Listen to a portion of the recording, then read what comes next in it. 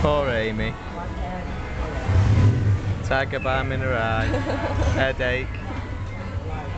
Can't pop a pill Take me for to hospital, hospital, I've got a tiger balm in my eye. I just look like Jay Z.